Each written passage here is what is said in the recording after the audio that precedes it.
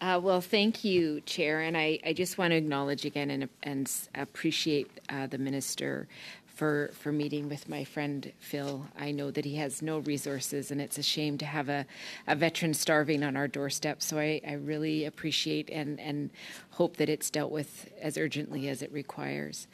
I do have a question about the Veterans and Family Wellbeing Fund. My office has heard from a lot of smaller organizations that their applications for funding are being denied. And I am seeing that a lot of larger organizations are receiving often very significant amounts of, of money.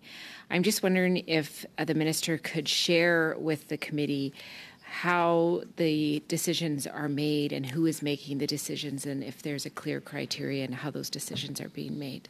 We certainly recognize, uh, Ms. Blaney, that um, the Veterans Wellbeing Fund is very much oversubscribed uh, in many cases. Uh, and yes, many organizations apply for those those funds. One thing is for certain, however, if those organizations want the feedback as to why they didn't qualify, they can always reach out to the department and get a bit of information with respect to that. Is my understanding. Mr. Harris, perhaps, or, or Paul? Sorry, go ahead.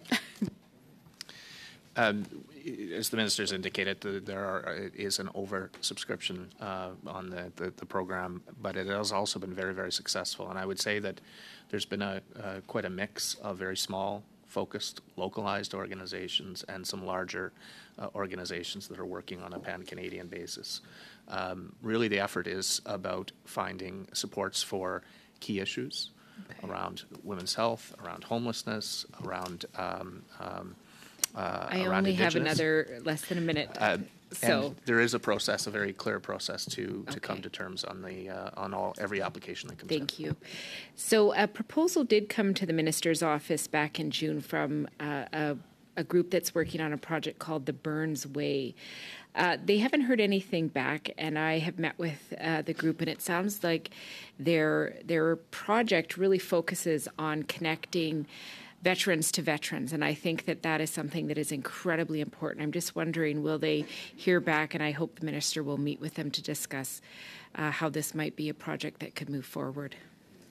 I'll certainly ask my officials, uh, Ms. Blaney, to follow up on that application. I really don't have any of the details surrounding that application, but we'll certainly follow up. Thank you.